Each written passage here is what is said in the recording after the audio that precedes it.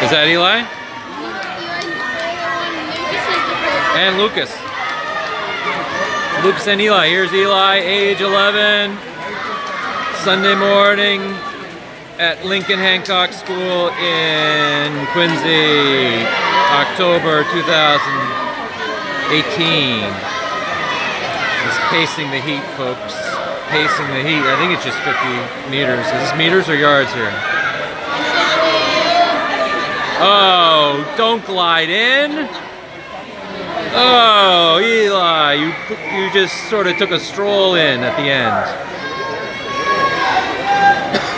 Excuse me.